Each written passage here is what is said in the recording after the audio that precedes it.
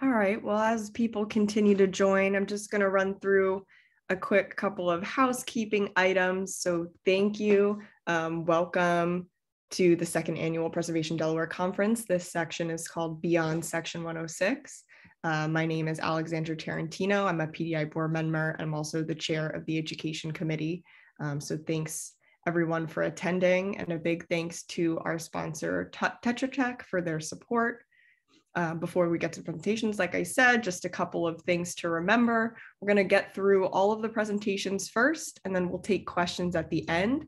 So if you have a question for any of our presenters, you can use the Q&A function, which is the little button that's located at the bottom of your screen to ask your question. Um, if you're having issues with Zoom, you can also get in touch with us by using the chat feature. Um, so select presentations will be available on PDI's website and YouTube channel after the conference. So if you're interested um, in rewatching or if you weren't able to make um, a presentation, you can watch it after the fact. And lastly, I just want to invite you all, if you aren't already a PDI member, to please consider becoming a member. Your support really helps us to further preservation efforts in Delaware and to put on events like this one. So we'll also put information about membership in the chat box if anybody um, might be interested. So as I mentioned, this section is called Beyond Section 106. So Section 106 of the National Historic Preservation Act and its implementing regulations under 36 CFR Part 800 requires federal agencies to consider effects to historic properties that may occur as a result of projects they fund, approve, or carry out. So many practitioners and members of the public rely on Section 106 as the main method to protect or preserve historic resources, but we have to keep in mind that it only applies if there is a federal action. So the presentations today are going to explore some other methods to encourage historic preservation, including ordinances or programs at the state and local level. So first up, we have Rebekah Mills. Uh, Rebekah, if you want to turn your, your video on so we can all see you. So Rebekah is a second year law student at the Charles Widger School of Law at Villanova University, where she's studying cultural heritage law. And today, Rebekah is here to present on the Camden Historic District in Camden, Delaware. So welcome, Rebekah. Thanks for being here. Hi, thank you.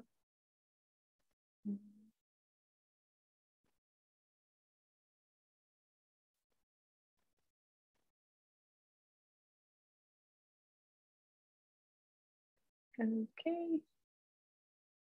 Can you see my screen? yes, we can. If you just, right now I'm seeing your PowerPoint. If you wanted to make it go full screen, play from start, I think that would be good. Okay. Um, Zoom share.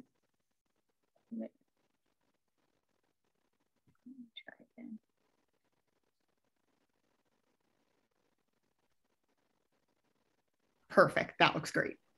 Okay, awesome. Alrighty. Okay. So, alrighty. So thank you so much for having me. And as Alex said, my name is Rebekah Mills and I'm in my second year um, at Villanova University in their law program. And I'm really excited to present on Camden, Delaware.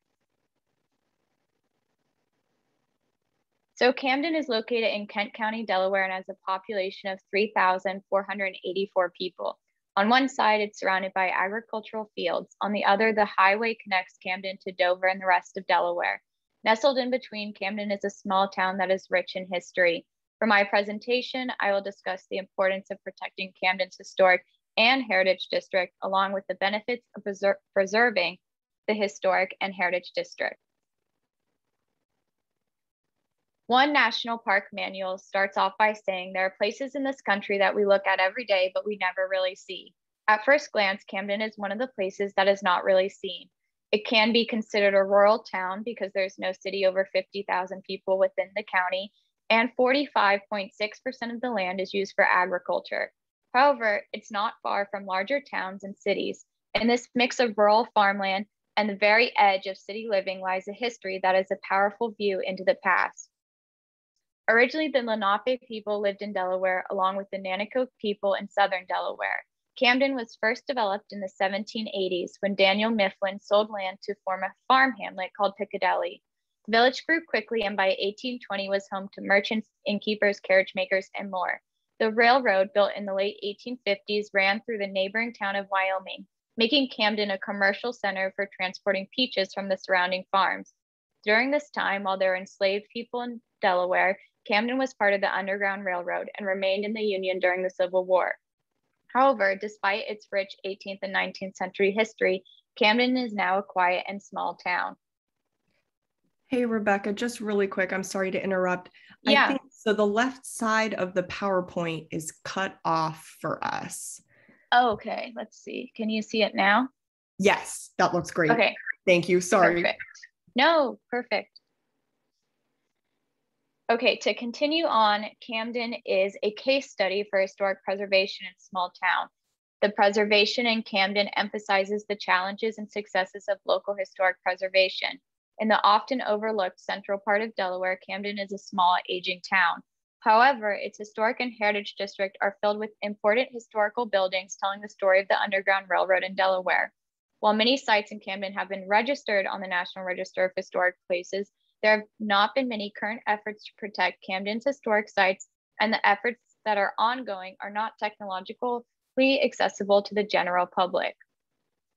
Although the population in Camden is small, it's growing faster than most towns of its size. Camden is in Kent County, and while Kent County is the smallest of Delaware's three counties, its population is expected to grow steadily and diversify. However, the town's population is also expected to continue aging. It is important as Camden keeps growing that the Heritage District, historic districts, and historic sites are not forgotten. Instead, they can be a focus for increasing economic growth, community building, and more. More so, Camden is within 100 miles of DC, Philadelphia, Baltimore, and Wilmington. It's often stated that small towns are dying, but instead, Camden is growing. And towns on the periphery of cities grew during the COVID 19 pandemic. While some growth might be temporary, other growth might be permanent.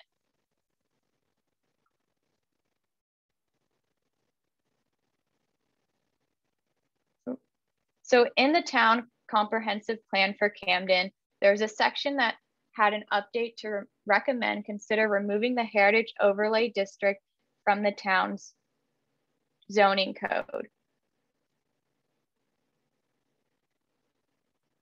The removal of the heritage district in Camden could have a negative effect on the preser preservation of the town's historic structures. And instead of removing the heritage district, Camden should focus on encouraging the survival of the heritage district the historic district to benefit the town.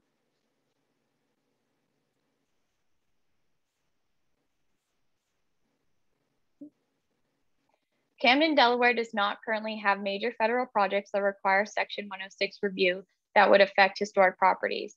Additionally, most of Camden's historic sites are already on the National Register of Historic Places. However, no new sites have been added to the list for the last 25 years. With no new progress on the list and most historic places already on the list, Camden needs to turn to other avenues beyond Section 106 to protect its historic sites.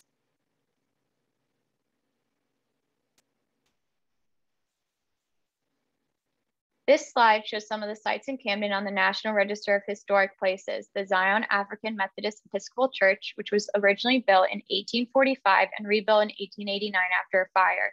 When established, it was on the rural section of Camden on the edge of the traditionally African American section of the town. The church also includes a cemetery, which includes the black graves of Black Civil War veterans. The founder of the church brought his freedom and moved to Camden. The church was a haven for the Black community and its social center. Also listed on the National Register for Historic Places, the Camden Friends Meeting House was built in 1805. Now it's the only remaining meeting house in Lower Delaware and still has an active membership. It is the cemetery is the resting place of John Hunn, who is the chief engineer of the Underground Railroad in Delaware. The meeting house and its members were active in the Underground Railroad. Brecknock or Brecknock Park is also listed on the National Register, and its original home dates to before the 1700s. In the 1800s and 1900s, addition to the home and more buildings were added for a mill, which was first built in the 1740s or 1750s, and it is now a nature center. There still needs to be more research done on Camden's history as a pathway for sharing a diverse history. For example, Thomas H. Owl was a Quaker miller from Camden, Delaware. He was born deaf and educated at Thomas Gallaudet's Hartford School for the Deaf. After his education, he returned to Delaware to take over operations on his family mill. More research needs to be done to uncover the story of John T. Jakes. He was an agent for Delaware's railroad in 1865 and a pioneer citizen in both Camden and the neighboring town of Wyoming. His daughter Maggie Jakes taught in the Wyoming Institute, and more research needs to be done on women in the 19th century in Camden and Wyoming. Sharing Camden's history is a way to share diverse and often untold stories of history, including the stories of people of color, women, and people with disabilities.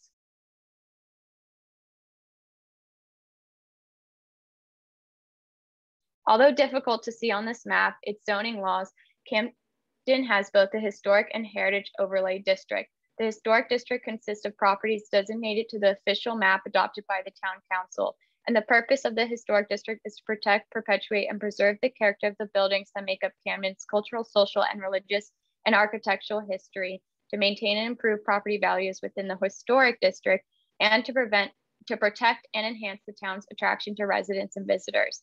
The Heritage District protects, perpetuates, and preserves the character of the buildings that make up developments within the proximity of Route 13 and the alternative Route 13 with the town in order to set forth the character of the community and provide continuity along this area.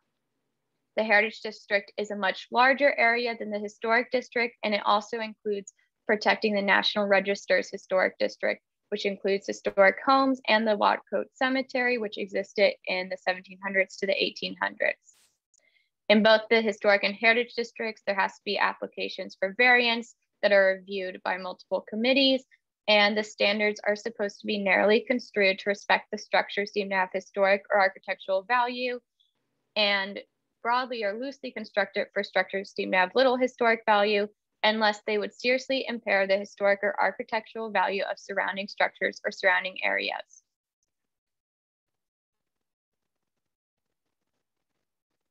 The Heritage District is the site of most of the development in Camden, and the bottom right photograph demonstrates the development of the Heritage District is expanding as the town grows. The top arrows on the zoning map show that this development is in the Heritage District along with the yellow squares on the satellite map.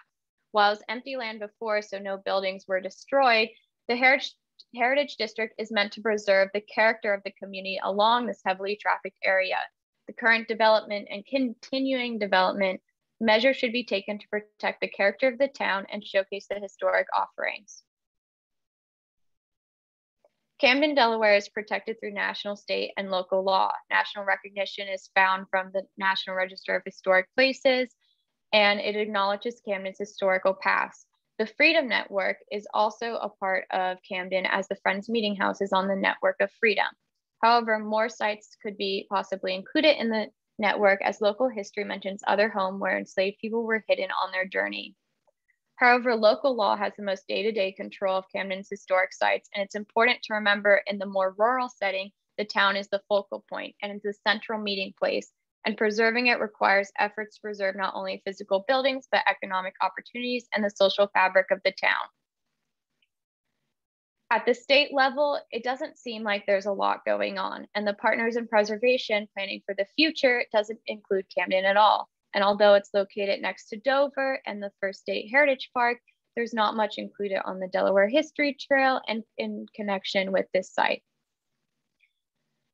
Additionally, in Kent County, four individual National Register properties and 165 buildings within the National Register District have been demolished. Camden is one of 18 National Register historic districts in Kent County, and it's hard not to imagine that Camden's historic district will be impacted if this trend continues or has potentially already been impacted.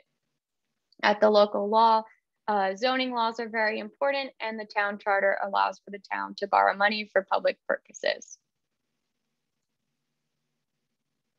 There are many benefits to Camden's historic and heritage district, including increasing local tourism, sharing diverse stories, and facilitating affordable housing that can be accomplished through merging historical programs with Wyoming, Camden's neighboring town, and strengthening local, state, and national law. Kent County is seen as a place to drive through and not a place to stop and see historic sites. Recognizing this fact, the Kent County Tourism Board has implemented a plan for the Delaware Quaint Villages with the tagline at your own pace. The Delaware Vi Villages Tourism Program emphasizes the benefits of visiting an area that is rich, rich in history and small town living. Although there is less than half a million dollars a year on marketing tourism, the Kent County Board of Tourism has already seen substantial returns and expects to have an impact of more than 100 million in the next three to five years.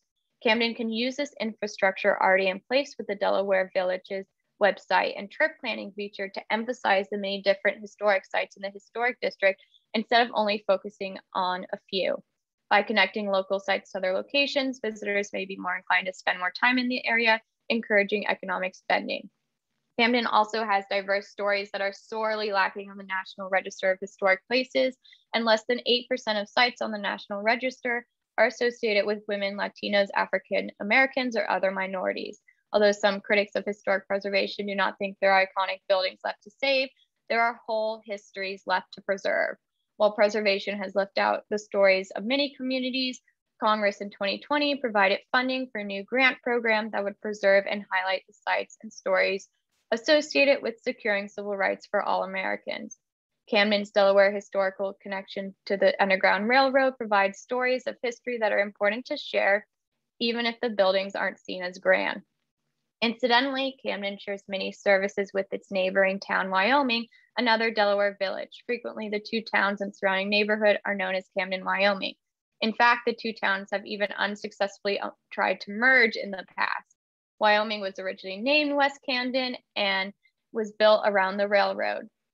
It has a large historic district with 380 buildings and 10 structures on the National Register of Historic Places. Both towns want to protect their historic sites and increase the walkability of towns, and Camden strives to be the most walkable town in Delaware. The town center of Wyoming's walkability is considered exceptional. As other services have merged, Camden and Wyoming should work together to protect their historic sites. They grew together as towns, and it makes sense that people and visitors would be able to experience both the history of Camden and Wyoming instead of creating a modern divide. Both cities share common interests and should use Camden's Heritage District and Wyoming's Historic District to promote a walkable historical experience. The joint project could increase the public's awareness of both towns' history and benefit both towns while preserving historic sites and increasing walkability. The Historic and Heritage District protect the character of the town and they offer a chance to see the past and uncover stories that were forgotten. Local historic districts are one of the strongest preservation tools as historic districts can preserve housing and prevent unfettered gentrification. Historic and heritage districts can promote economic growth, increase visitation, and create affordable housing that's unique spaces for people to live, helping to increase their quality of life. Affordable housing is a big need for Camden and other small towns, using historic and heritage districts to create affordable housing benefits all. Finally, strengthening the law, historic sites would be more protected. At the national level, the National Underground Railroad Network of Freedom Act of 1998 could provide special historical preservation distinction to sites included in the act besides making preservationists go through the complicated National Register of Historic Places application, which is especially important because many sites on the Underground Railroad are told by local legend, not by the written narrative. At the state level, Delaware could improve its information regarding Camden to the public and provide additional protection for National Register of Historic Places properties instead of allowing hundreds of properties to be demolished. At the local level, the town charter could be amended to include a section on preserving, his, preserving historic sites to show Camden's commitment to protecting its history. Also, ensuring a review for compatibility of new construction in the heritage or historic district can benefit both sites and construction that focuses on protecting surrounding cemeteries in the historic and heritage district and including cemeteries that no longer have structures associated with them. Strengthening preservation laws at all three levels would help protect towns like Camden from losing their historic sites. Thank you for listening, and I hope after this presentation, you don't see Camden as just this tiny dot on the map of Delaware, but a place that's a historical town that is waiting to share diverse stories.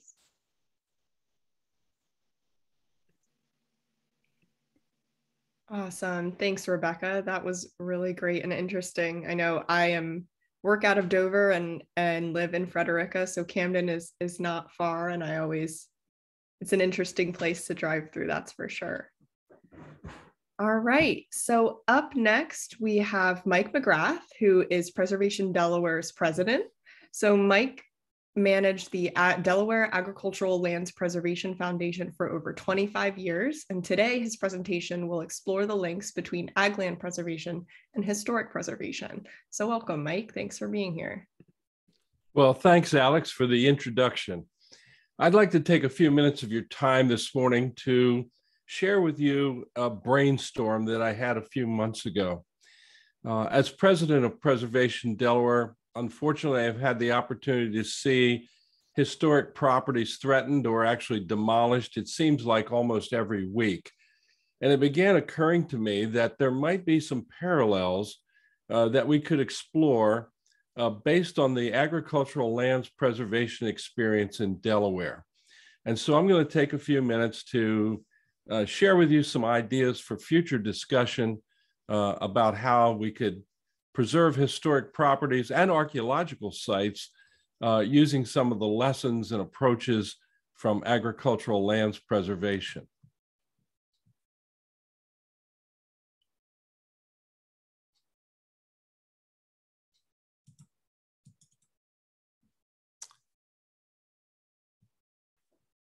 Agricultural lands preservation, can there be a parallel with historic preservation?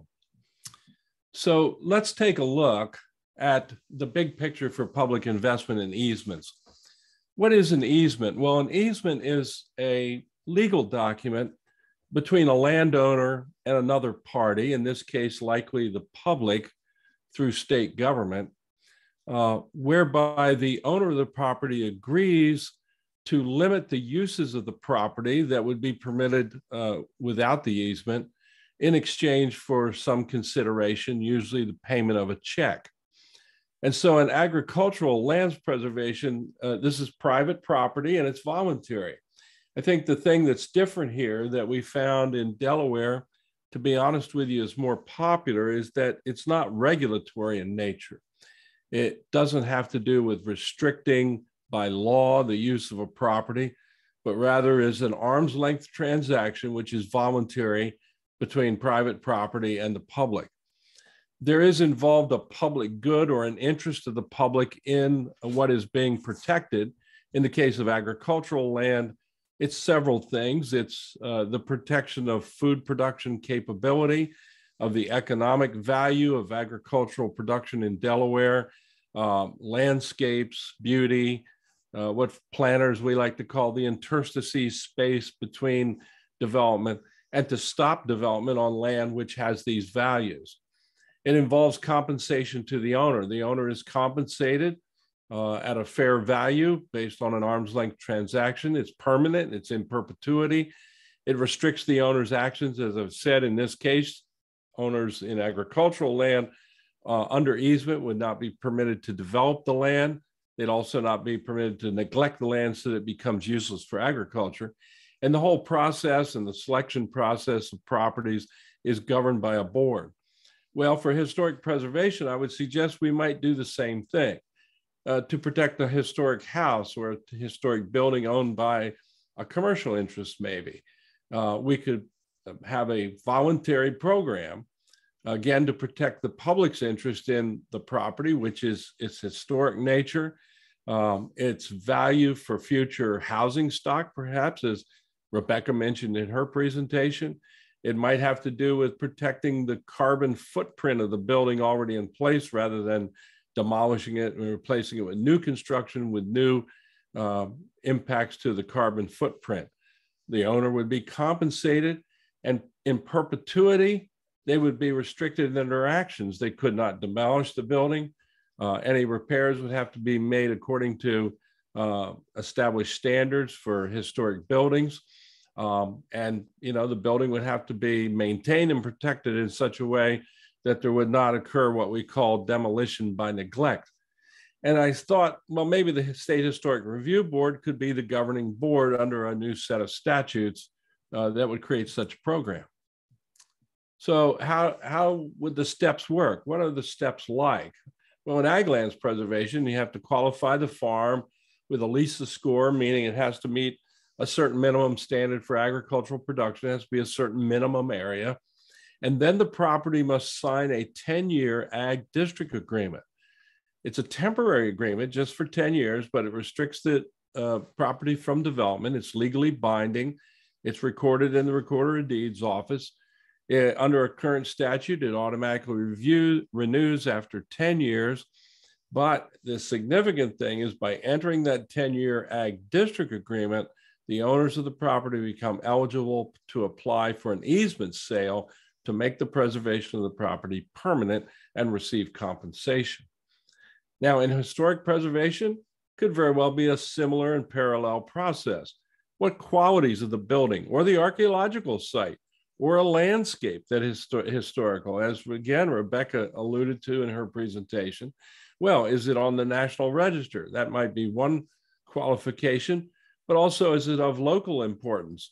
Or maybe it would qualify for the National Register, but has not yet been selected or approved for that uh, category. Um, and then the property would uh, perhaps under a parallel program enter a 10 year, what I'm calling a state historic listing, where no demolitions or and all, no demolitions could occur by neglect or by action. Uh, repairs would need to conform to the secretary's standards for uh, renovation or rehabilitation of historic buildings. It again would be a legally binding. It could automatically renew after a number of years unless the owner decided to withdraw. But again, the key thing is that the uh, owners of the property would be eligible uh, to apply for an easement sale. So let's look at the easement purchase. Um, the Ag Lands Preservation Program uses an annual competition. Only properties in the Ag District, as I said earlier, uh, could enter the competition for selling an easement. There's an appraisal, which is the difference between the full market value of the property and the agricultural only value. Now, this property, this uh, uh, value can be arrived at a number of ways. Delaware's established a procedure uh, that is consistent from year to year. And then the owners, and here's a significant thing about Delaware's agricultural easement program owners make bids. Owners put in offers after reviewing the appraised value of the easement and offer discounts to the state government on a competitive basis. And in Delaware, successful bids are selected by the percentage discount below the appraised value for the easement, which the owner is offering to sell for. In other words, um, as I often said, uh, when I go into a men's store to look for a new jacket, I go look at the sales rack first. And this process that Delaware has followed with agricultural preservation uh, means that we've been very value oriented. And then cash payments are made, or even a term payment can be arranged. And again, in historic preservation would be parallel. Only properties that are in the listing for the historical uh, listing for the perhaps 10 year uh, agreement. There's be a difference between the market value and the value after the restrictive easement is applied. Now that appraisals are always a combination of science and art, um, but I think there can be a, a methodology established that's consistent uh, to determine what the appraised value of the historic restriction easement would be. Then owners would put in offers again after reviewing their appraised value. And successful bids could again be selected by the percentage discount, and there'd be a cash payment. Now let's look at the other benefits that could accrue. In ag lands preservation, uh, property taxes are also a benefit. There are no school or local property taxes on the protected land. Now, the houses and the farm buildings and the chicken houses and all the improvements to the property play, pay their regular tax uh, to the schools and to the local uh, jurisdiction.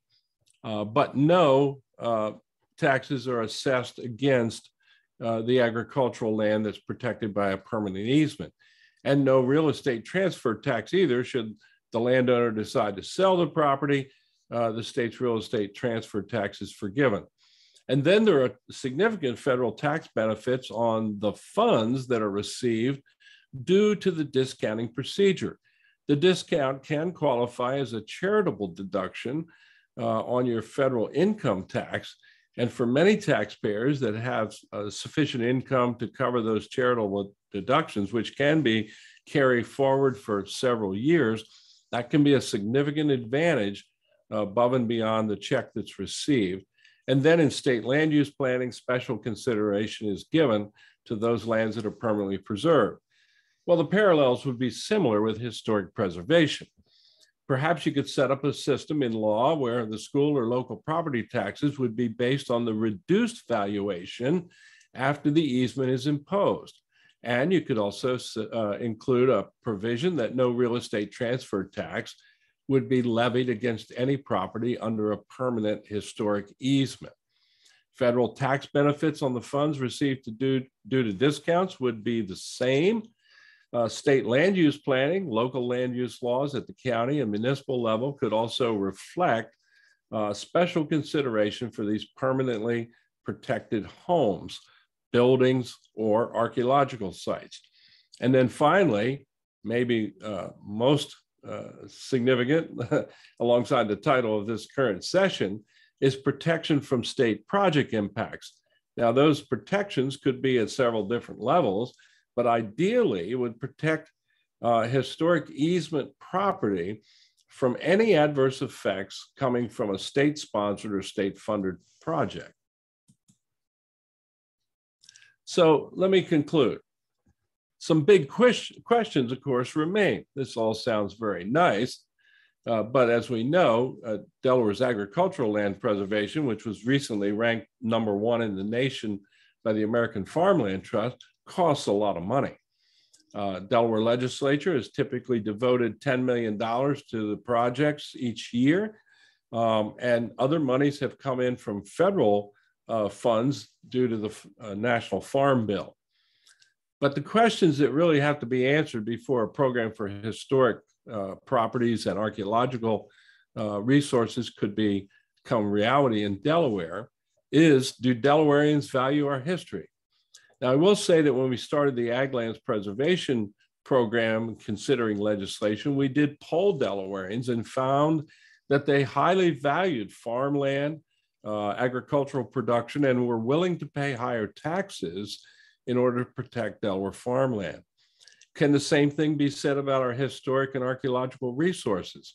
Well, um, I think it may very well be true that Delaware, Delawareans value these highly and would be willing to see their tax money go that way. Are historic buildings and sites valued as context for our quality of life?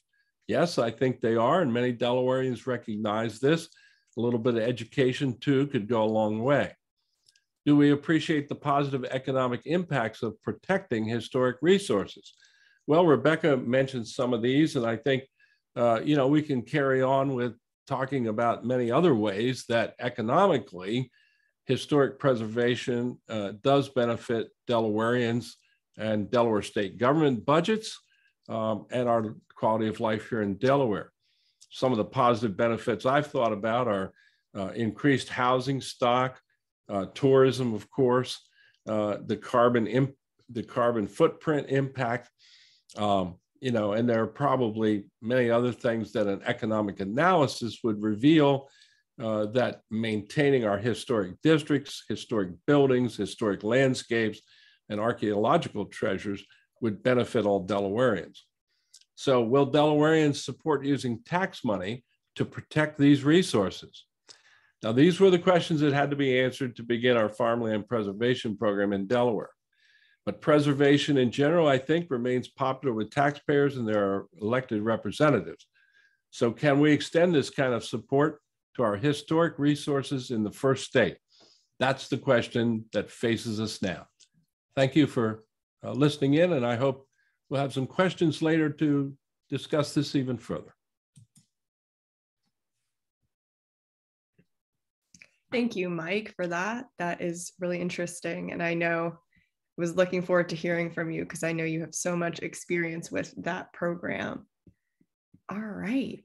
So our next presenter um, is Dee Durham. So Dee has been a champion of conservation and historic preservation in Delaware and the surrounding area for decades. Um, and since 2018, she's served on the New Castle County Council and has led efforts to pass several ordinances that strengthen county code as it relates to historic resources. So today we're really excited to hear from Dee about some of these recent updates to the county code and what um, what she and the rest of county council have been working on. So thank you, Dee, and welcome. Thank you so much. Um, let me see if I can get my screen shared here. Hmm. One second, sorry.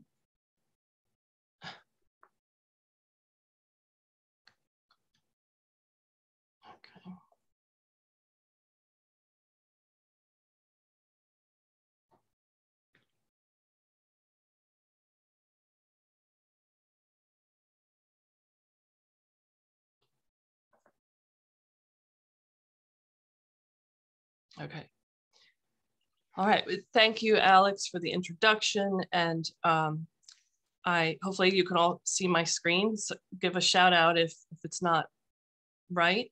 Um, I um, so yes, as Alex said, I was elected in November of 2018, and I actually um, ran for office largely to try to make a difference in the realms of preservation and conservation because um, I had been actually executive director of Preservation Delaware back in the 90s into early the early 2000s, and um, just sort of watching from afar. I wasn't that involved in the early 2000s, but I could just I was just frustrated that policy didn't seem to be keeping up with uh, what was needed in terms of protecting our resources. And and as Mike mentioned, I think um, the citizens of this state and county uh, do care about historic resources and do want to see um, you know our resources protected. There's always a lot of frustration when a local resource gets demolished and uh, but then nothing seemed to be done ab about you know kind of trying to enhance policy to prevent the demolitions. So one of the first things we did i was working primarily with colleagues um, john cartier and dave carter. We established um, a working group, and, and, some of those attending today are on the working group. Um, but it's steeped in the the fact that you know preservation is people, and the advocates, all of you who you know we've heard from several already today, working on projects to save and restore properties. You know, you're all what make the difference, and um, you know, an, an elected official can't can't just work in a vacuum. Um, we need all of you to speak up constantly um, and um, you know work together to try to change policy and um, and advocate for these resources. So this this picture here isn't actually of the working group. I couldn't find a picture of the working group, but it just is to symbolize that that people are what make the difference. And so the, the work group has met several times and has been very critical in helping us to move policy forward in New Castle.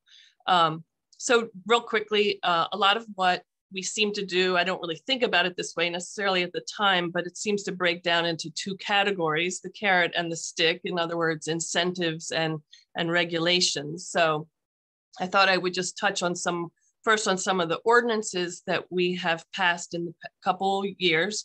Um, one of which uh, estab- reestablished actually historic the county's historic tax credits, which had been allowed to sunset. No one had really even noticed. I think that's partly because no one was really using them. And uh, and um, I know Betsy Hatch, the New Castle County Preservation Planner, is with us today, and her contact information is on this screen as well um, to find out more information if, if anyone is interested about how to access that tax credit. Um, but I think what we all need to do is do a better job of talking about it and, and getting word out there about the fact that it exists and get some, some property owners using it um, in combination with both the federal tax credit and the state tax credit. And there are links to those on the Preservation Delaware website under the resources tab, if anyone is looking for those. And there's actually some other um, financial incentives uh, links for others on that website as well.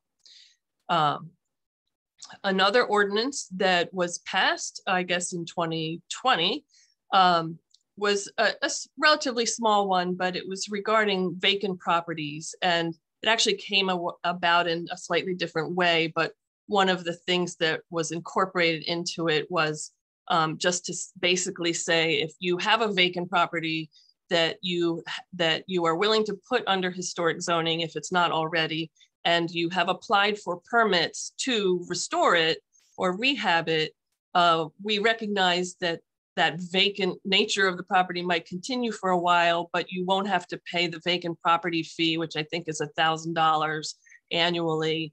And um, you know, it just uh, sort of connects the dots and encourages property owners to put their properties under historic zoning, hopefully. Um, another uh, great program. It's sort of a, an incentive, sort of like the National Register of Historic Places. It's, it's more of a symbolic thing, but we established the Historic Marker Program, which uh, is run through the HRB now in the county, the Historic Review Board. So if um, if you're a property owner that puts your historic property under an overlay zone, um, you are eligible for a bronze marker to put near your front door or wherever you might want it.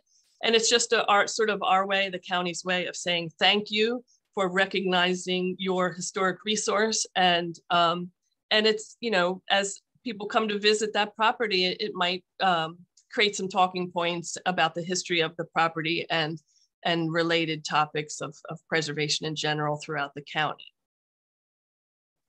So um, not because of the marker program, but just in general, I think because of um, highlight uh, uh, an increased interest in historic preservation. There have been at least four properties that I'm aware of, Betsy can correct me if I'm wrong, that just in the last couple years have been placed in the county's overlay zoning district as a historic overlay zoning district, um, which does confer some restrictions, but also uh, some protections in terms of if, if you're looking to the future to try to make sure um, a historic resource has a little bit more um, watchdogging over it by the HRB, by the county in terms of code, um, code inspection, that sort of thing. And also if and when um, any expansion is, is proposed or, or rehab to the exterior.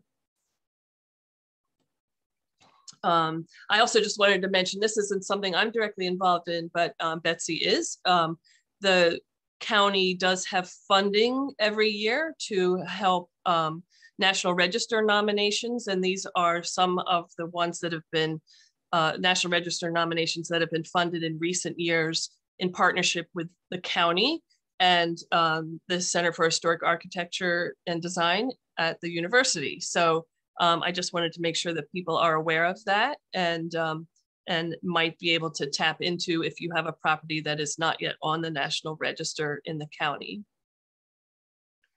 So another um, ordinance that we actually worked on early on in my uh, tenure as an elected official um, came about because a property came before the HRB seeking to be demolished.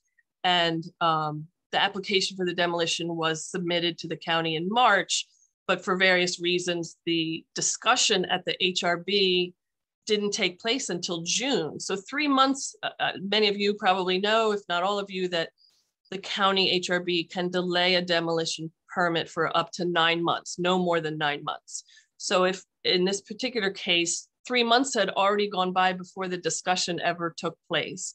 And part of the reason for the nine month delay is to try to create um, an opportunity for folks to talk together about alternatives to demolition and to talk to the property owner or the developer to try to um, see if some some alternative to demolition can be uh, arranged. And um, so to lose three months was pretty significant. And and uh, so ordinance 19080 just sought to sort of clarify um, that process so that we wouldn't lose time, that the nine month clock wouldn't start ticking until, um, you know, until it actually um, came before the HRB and had that initial discussion.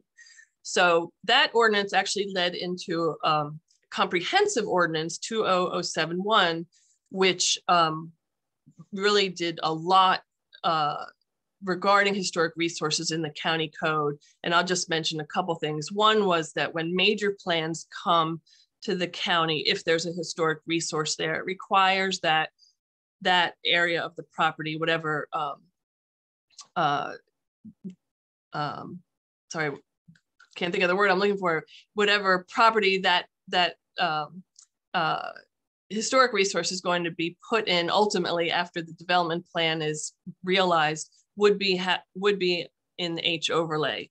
Um, and also a, a, restoration plan would have to be submitted to the county. So um, it also secured uh, annual protections for um, or an annual review of H overlay properties in the county uh, inspection reviews. Um, which there, there just needed to be some clarity there. So 20071 accomplished a lot of other things too. Um, it it, it uh, created some new categories for adaptive reuse of historic properties and, and um, loosened, I should, loosened sort of what was eligible for adaptive reuse, which hopefully will um, help some historic resources down the road find new uses um, in the future. Another ordinance that actually was just um, passed this earlier this year was regarding county owned resources because I think um, well, I certainly believe and, and others agree that that governments at all levels, not just the county, but the state and, and Fed as well, which is what Section 106 is partly about, um, the governments should lead the way in protecting our resources and not, um, you know, we, we expect other property owners to take care of their properties. We have code code inspections and violations. Well, we aren't, for at least some of the county owned properties, we aren't doing a great job. And we should, we should be held to that same standard, if not a higher standard. So this ordinance just created the, um, the requirement that any moving forward, not for buildings that we already own, but for historic properties that we acquire moving forward um, from its adoption would have to be placed under historic overlay zoning if, if eligible. And this, this is just another example of a county owned property, just Ivy Side or the Bechtel House. And um, a quote by local historian James Hanby about basically saying the same thing that, that the government needs to lead the way in the properties it owns. I also just wanted to mention that, of course, um, a large part of what we, you know, open space preservation and farmland preservation, as Mike talked about, are very much intimately linked with um, with historic preservation and preserving historic context. This picture is actually of a, a farm that the county acquired an easement on, a conservation easement on down near Port Penn.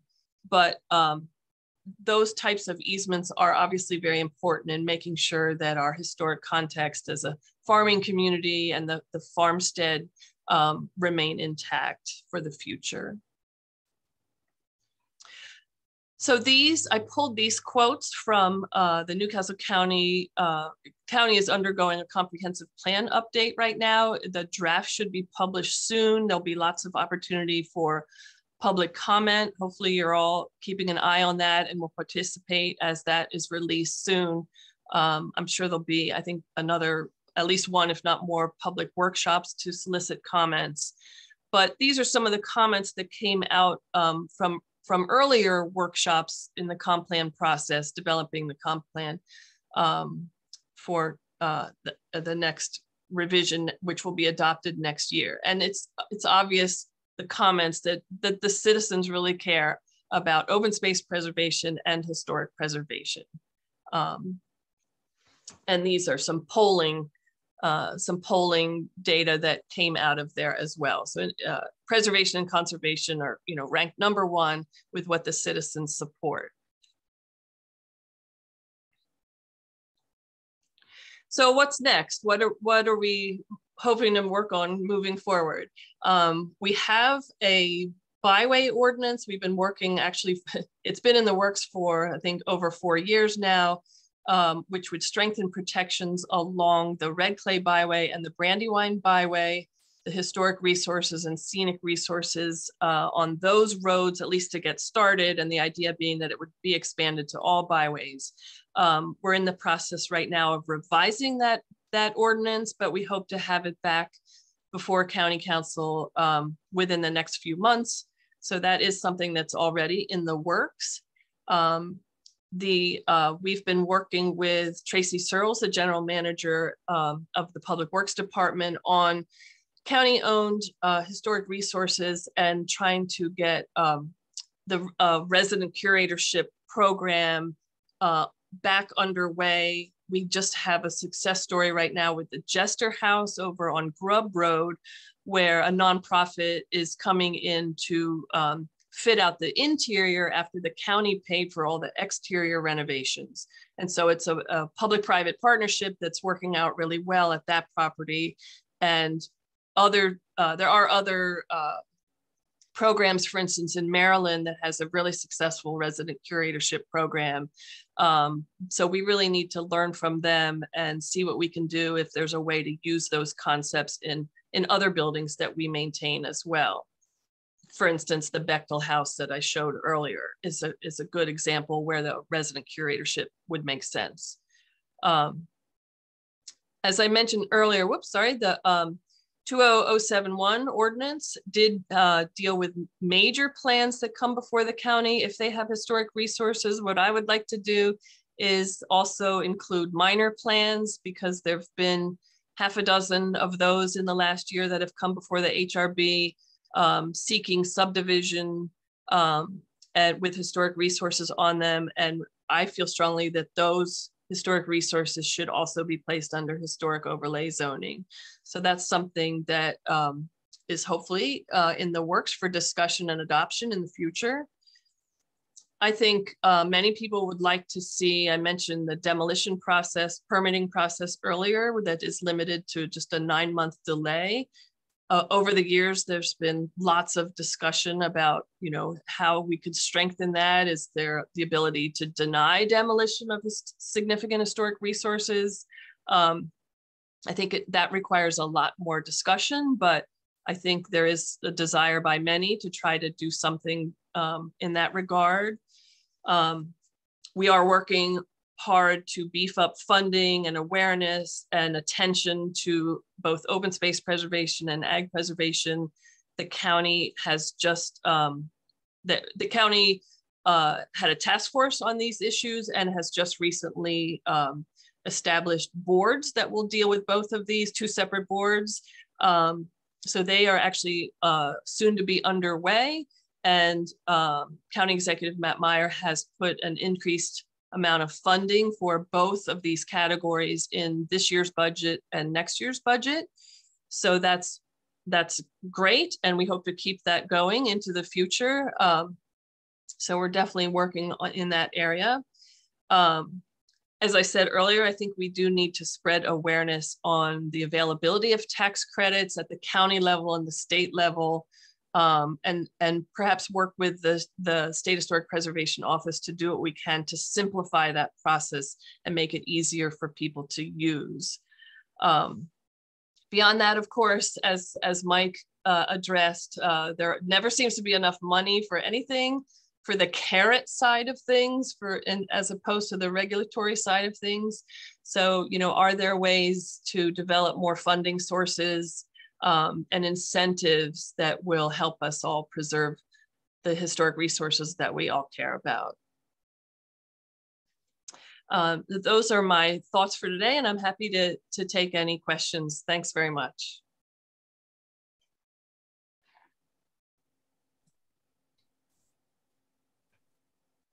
Awesome. Thank you so much, Dee. I know you all are doing a lot of great work there, so it was wonderful to have an update. Um, all right, so let's see. I was just going to invite all of our presenters to turn their video back on. I think everybody is ahead of me there, so thank you for that. We do have some questions coming in. I've been trying to kind of organize them here, and I think actually I'm I'm excited because I think between um, with Dee and New Castle County and Camden being in Kent County, maybe we can have some some good dis discussion on what, um, if anything, those two counties might have in common or might be able to learn from each other.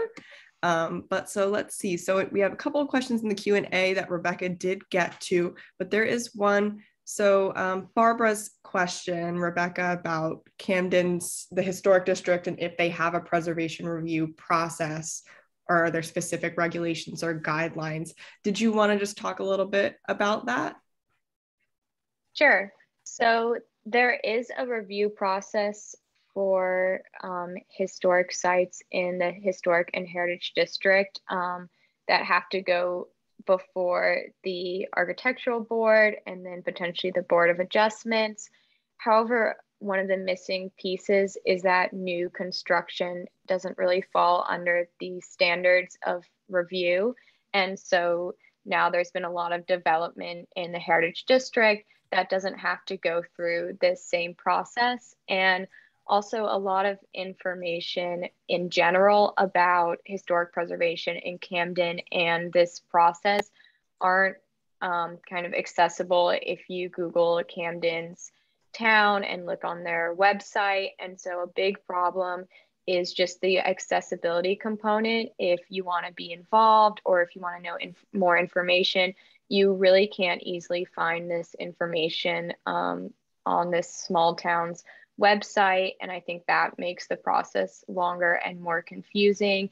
And that might be something that New Castle is better at or has more resources and could share information with Kent County and especially the small towns in Kent County. Thanks so much. Um, let me see. So we have actually a couple of, of good questions um, specific to archaeological resources. So I know we had one one come in um, for Dee, but then Rebekah, we've also had some about Camden. So while I have you on, um, when you looked at, I guess, the current National Register nomination for the historic district, which if I remember is is is quite a few years old at this point. How, um, if at all, are, are archaeological sites kind of addressed in in that nomination or in the current sort of protections for for Camden? Um, and then I guess if they're not, have you sort of come across any examples of how they could be better incorporated?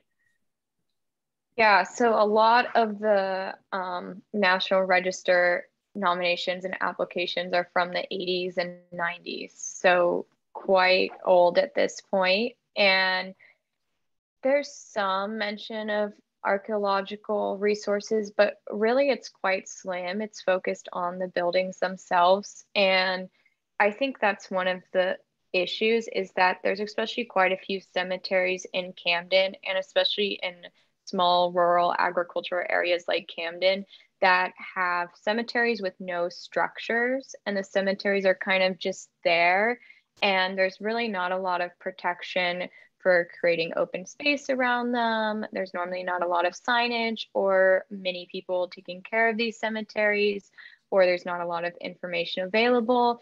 And there's probably key archaeological resources located around these cemeteries because there originally was a structure um, that are being ignored and I think in Camden are not considered in the zoning laws.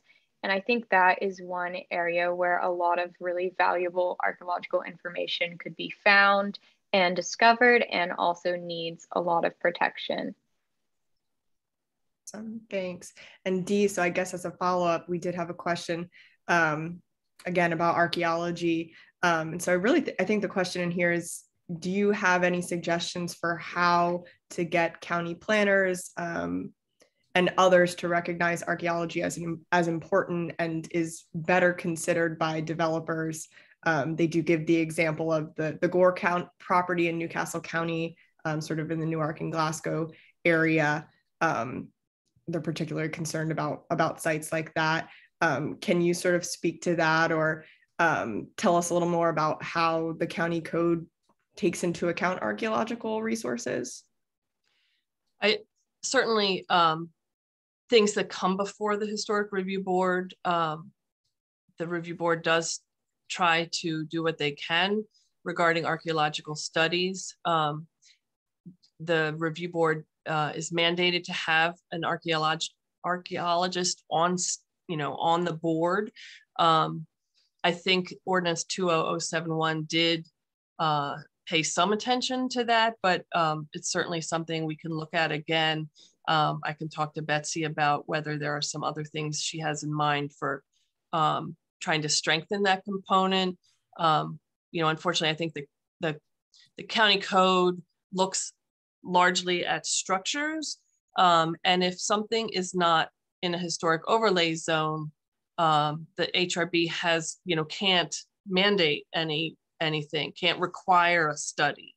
So, um, you know, that's, you know, that's an issue that, that we need to keep trying to strengthen um, because, it, you know, things come before the HRB and, and for things not in H overlay, um, their role is not regulatory, it's just advisory. And that, that's a problem. Understood. Yeah, it sounds like something to explore. I wonder if if there are other sort of examples from either other states or other municipalities in other states that maybe have something we can look to. Um, oh, looks like so Adriana Moss in the chat did put a link to the city of Fredericksburg that apparently just established archaeological ordinance. Um, so that maybe would be a good example to look to. Thank you awesome. for that link. That's great. Um, and uh, um, Wade Katz, who was in the previous session, uh, served on the HRB for a, a, a long time, and and I, I, will catch up with him. I'm sure he might have some ideas. I think so. Yeah, we'd be a great resource. Let's see. So for Mike, I want to get you in on this conversation. We do have some good questions um, for you. So I guess I'll start with. We did have a question asking if if that project or process had been started. I, I think the answer is is no. Um, but please, no, please correct me if I'm wrong. No, well, actually, everyone on this call this morning is on the initial kickoff. Perfect. So we're all special. I like that. Um, well, so yeah, we'll we'll put your we'll I'll put everybody's name on a plaque someday. the founding members. Yes. So, well, can you sort of speak to if there have been any other similar preservation programs that have been put into place around the country um, that would sort of, you know, that kind of take on the ag lands preservation methods, but a- applied to historic properties? Not, not that I'm aware of. Now, I haven't done, you know, a lot of in-depth research, so I'll confess that right up front. But to the best of my knowledge, the answer is no. Um, and and I think you know p- part of what's going on here is to understand um, you know exactly how these programs work. I mean, farmland preservation really hadn't been along, around nationally that long, only about 40 years. Um, and and you know, there's some sticking points there that I think are going to require a lot of working out. Um, and and that has to do with the fact that you know agricultural land it has to do with land, right? That's that's there. As long as you farm it, it's not going anywhere. It doesn't move. It, it doesn't deteriorate to the extent that you know a building would. So I think one of the sticky things is how do you deal with the fact that we're talking about a building in many cases. Um, and so that's one sticking point. You know, $10 million, that's another sticking point, right? I mean, you know, like when, when you start moving policies and and uh, and statutes, let's face facts. They don't cost anything other than you know political capital. But when you're talking about investing in buildings, now you're talking millions. Um, and you know, and the last thing I would say that I probably didn't mention enough, and because somebody mentioned archaeology a minute ago, is that um, it, one thing I think about this kind of approach, it can be applied to any kind of private property, right? Whether that's a building, commercial, residential, uh, an auxiliary building, it could be applied to land. For example, if there's an archaeological site, and, and I know a lot of Native American people are concerned about certain sites that don't get due consideration other than getting dug up, collect a few samples, and then go ahead and do whatever when, when in fact, those sites may represent something very significant to that culture and to those people who are still part of our citizens today, right? Um, and, and so something like this could apply to that very easily, protecting land, because then the corollary with ag lands would be pretty close. But I think, you know, there's a lot of sticky questions here. And again, one of them is appraisal. Um, but I think, you know, you got to start the conversation. Uh, basically took five years to develop the agricultural lands statutes. And, uh, you know, that's, that's probably pretty quick. Well, that actually leads into, I think, another question that we've that we've gotten, which is, um, and what I was sort of thinking too is, you know, I guess what what would it take to pass something like this or kind of develop this legislation, um, and then with PDI as the statewide nonprofit, sort of what what can PDI do to advocate for that? Because I imagine that a big part of it, of course, is going to be sort of lobbying legislators and, and getting their support, obviously.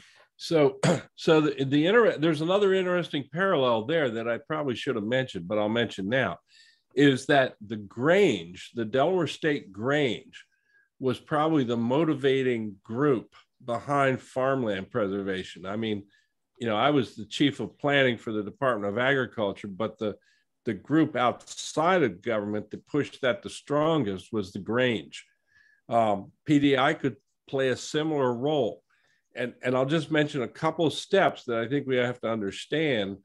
Um, all need to be made, and they take time. And uh, one is, uh, as uh, Dee alluded to in some of her remarks regarding the county, is polling Delawareans. I think one of the most powerful things we did early on with farmland preservation was we actually did some statewide polls for about three years, uh, asking pointed questions. Uh, we did this through the University of Delaware, uh, demographics division or whatever they called it back then. Um, and, you know, it, it was what I call the Delaware Gallup poll.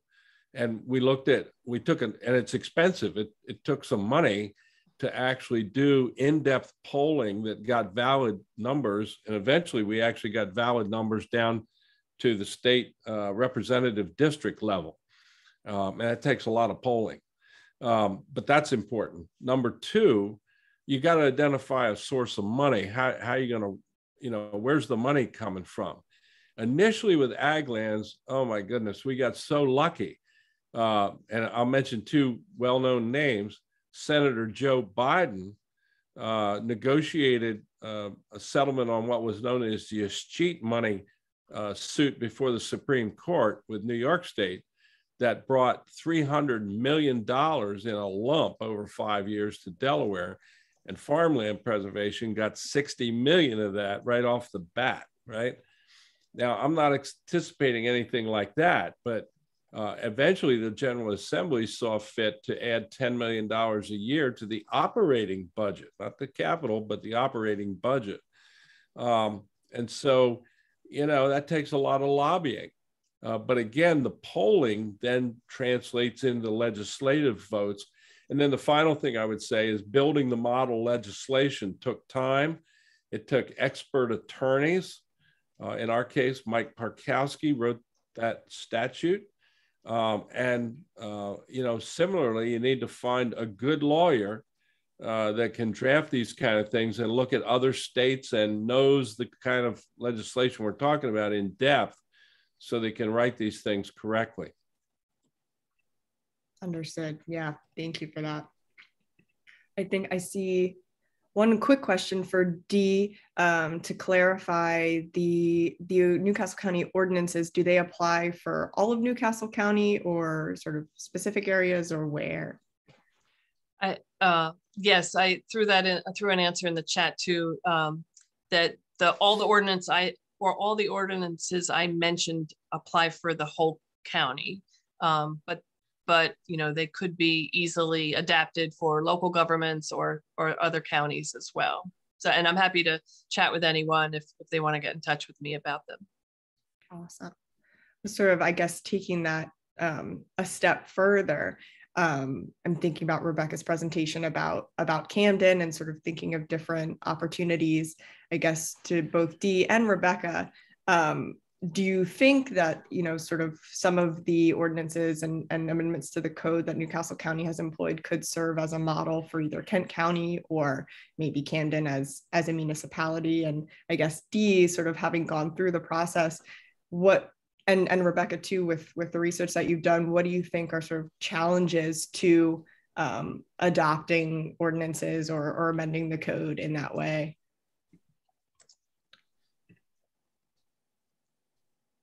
Um, I think a big challenge probably for Camden is having the ability to get um, the resources to review.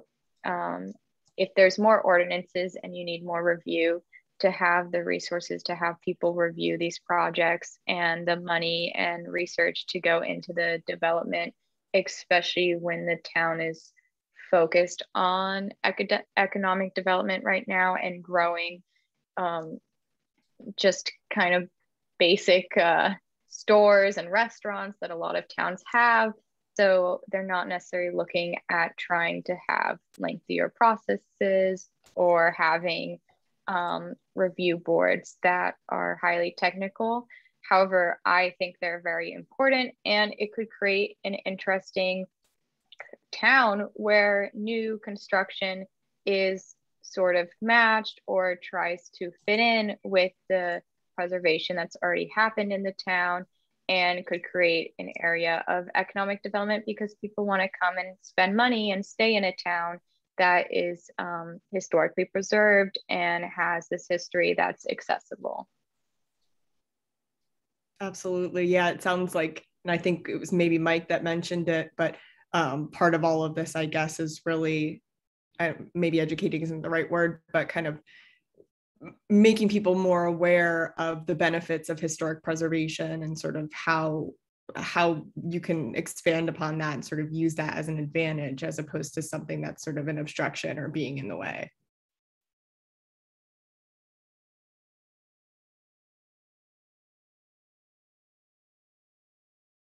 So I think we have about a minute left. I know we got some very good questions here. I wanted to give all of our presenters the opportunity, if you have any sort of final thoughts or things that you didn't get to mention, um, to go ahead and, and do that now.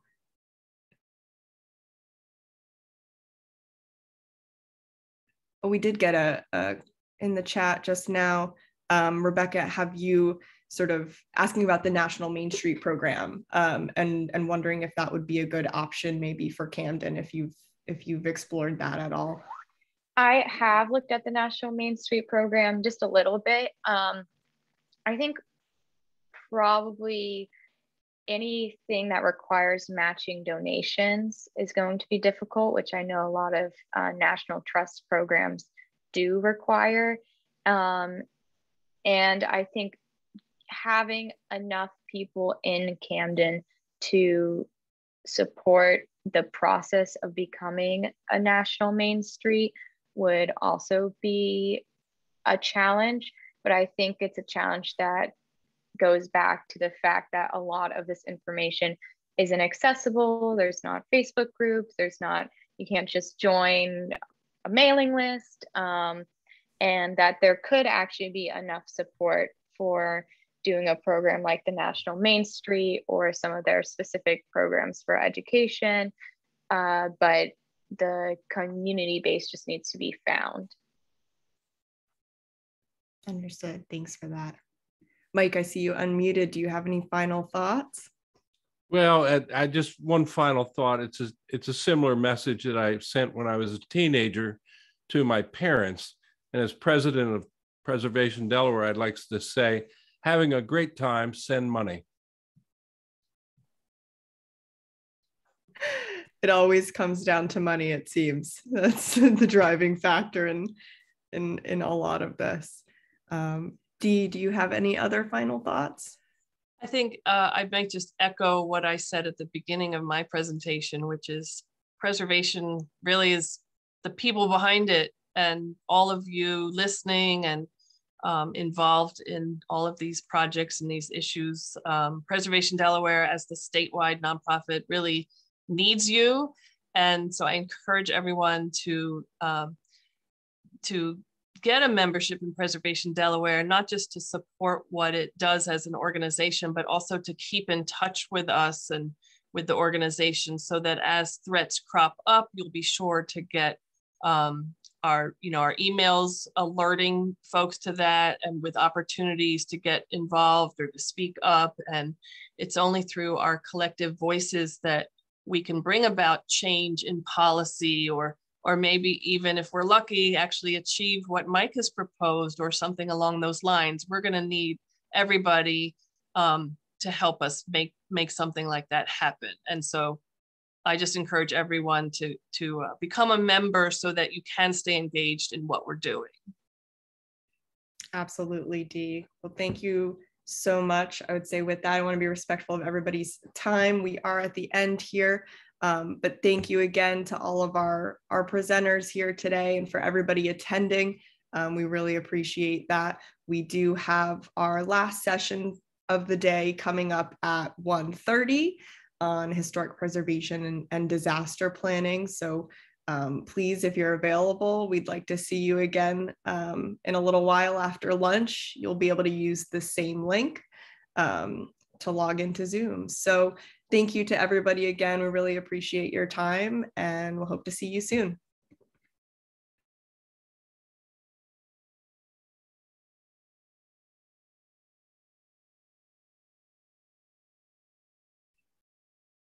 Oh, cool. Rebekah, we've got, I don't know if you saw that in the chat, but um, somebody suggested PlaceEconomics as a as a good um, place to find data on preservation and sort of its its link to economic development and growth. Yeah, that's awesome. Be good to look at.